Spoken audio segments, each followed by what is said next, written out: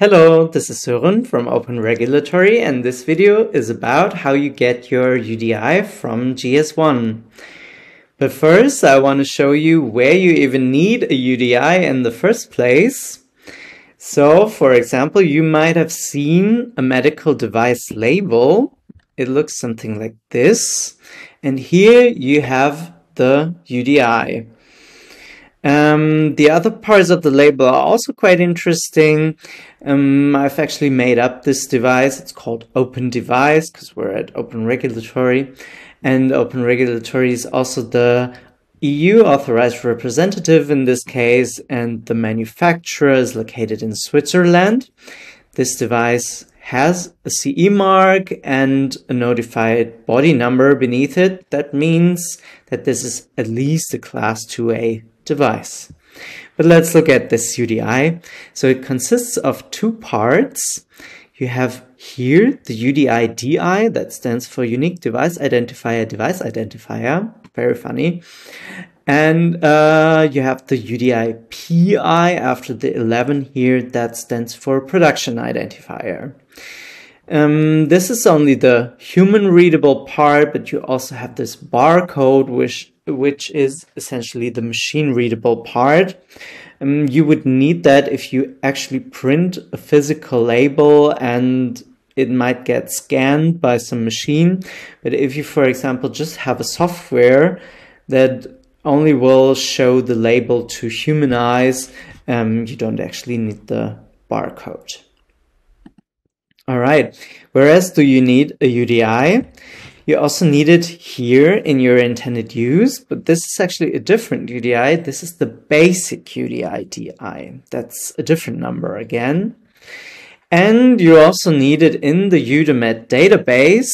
Here you also need the basic UDI DI. So you essentially have three different numbers.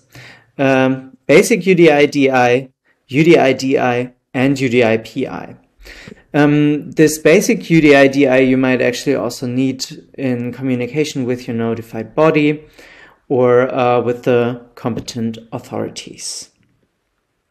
So as a quick reminder, the GS1 terminology is a bit different. So you have actually different numbers that represent those UDIs. So for example, the basic UDI DI um, you get through the global model number or short GMN. So this would actually be your basic UDI DI. This one, again, you use in the intended use in the EUDAMED database or with uh, your notified body. And the UDI DI is called GTIN in the GS1 space. That stands for Global Trade Item Number. This one you would put on the label um, of the product, or you might also need it at some places in your technical documentation. And then in the end, you have the UDI PI. That one you would uh, generate yourself, but you would use the rules from the application identifier. And this UDI you would find only on the product label. Okay, let's buy our UDI or our GTIN from GS1. For that, we go to their website, which is gs1.org, and this is actually the international website of GS1.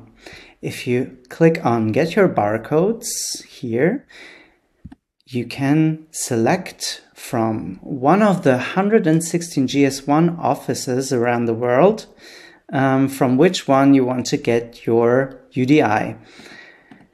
In our case, I'm going to choose Germany and I'll be redirected to their website.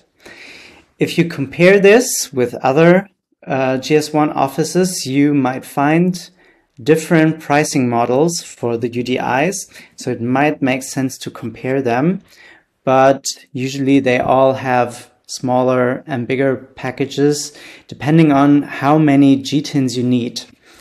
And that's the same here in Germany. You have a very small package with one to five GTINs and you have a package with 10 or you have one that starts at 1000. As a reference here, you can look at how many major versions of your software you want to release in the next few years. So usually you only need a new UDI DI when you make a significant change, which means a significant update to the U UI or um, you bump the first digit of your three digit version number. Um, so, or you, you change the intended use a little bit, then that would all mean that it's a significant change and you need a new UDI DI. Um, if you're just a small manufacturer and this happens only every two years or so, I would recommend to start with one UDI. And this decision is also reversible, so you can always upgrade to a different package. So no worries here. Um, those packages also differ in some other aspects, but to be honest, they are not really relevant for the UDI case, so I would uh, just ignore this. One important aspect is, though, that GS1 um, makes their pricing dependent on the annual turnover of the companies they are selling to. So in this case, sorry for the German here, they only offer the smaller packages to companies with an annual turnover of below than 250,000 euros. If you're above that, you immediately need to purchase this GS1 complete package. And when we look at this more closely, um, you can choose the variants, but here you can actually choose which annual turnover your company makes. And depending on that, the annual fee uh, increases and it can be up to, um, what is this, 30,000 euros per year, just for the numbers. That's crazy. All right. Um, with this GS1 complete, they also offer you to buy a GS1 certificate, which uh, somehow certifies that your numbers are legit, but this is not really relevant uh, in our context. All right, but let's go back to the uh, smaller package. Let's buy one of those. Here you can actually choose whether you want to just buy one uh, GTIN or two, three, four, five, depending on that, the price rises. Um, so here you first have to enter your company data. Let's do that real quick. Okay, so this is our open regulatory data. Then here you need to um, name one contact person in your company who's dealing with the UDIs. So I'm gonna enter my details here. Okay, so I did that. I just didn't want to disclose this data to you in this video. And the next question they ask you is whether you want to publish your GTIN in a public database called GEPIR. Um, that lets anyone in the world um, verify your GTINs.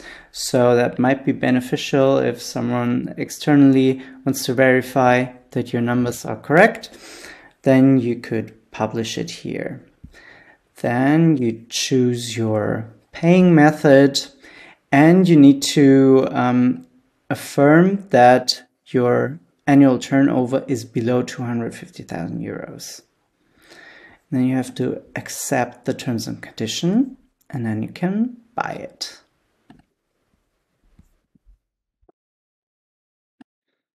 Okay, welcome to my email inbox. Now I've actually received the email from GS1. It took only a few seconds, so really fast. And in this email, they send you a link. Um, and here, if you click on it, you're redirected to this page where you can actually set a password for your account. And then after that, you can access the GTIN manager when you click here you can enter your email address and your newly set password, and then you can log in.